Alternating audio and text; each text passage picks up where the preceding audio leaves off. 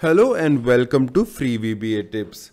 Today I am going to show you how you can send birthday emails to an individual. So for example, there are thousand number of associates where you want to send birthday emails.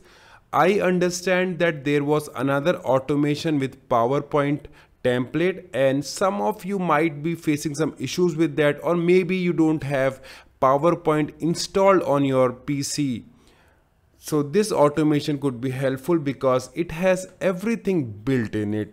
It has a template built in it. You don't need powerpoint and every uh, entire data is over here. So let me show you how this works.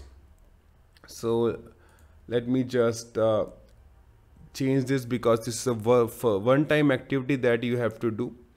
Otherwise whenever you open it every day it will uh, automatically save the date so there will not be any amendments that you need to make or any changes in the file except this data if you want to make any changes. Otherwise it will automatically ensure that there are no duplicate emails sent and the dates are up to date for example if you have skipped email for saturday and sunday and you are coming and sending emails on monday then this automation will automatically send birthday for saturday and sunday as well. Okay let me click on this generate email. Now the birthday emails have been generated. And i can just close it as there were three emails and they, if you notice over here there is no process name. So let me see over here. Okay so I have not put any process name.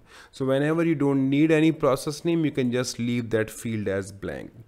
If you want, to make any changes in the template you can make it over here. Please ensure that you do not delete anything. However you can format any everything over here. You can just double click and change the font and anything like that all right. So if you have any questions you can ask me in comments. Most probably uh, you should face issues when you do not have excel uh, uh, installed properly or you if you have not enabled macros. So whenever you are uh, opening the automation please enable the macros and then start using the automation. Thank you for watching. For similar kind of videos you can subscribe to my channel. Take care and bye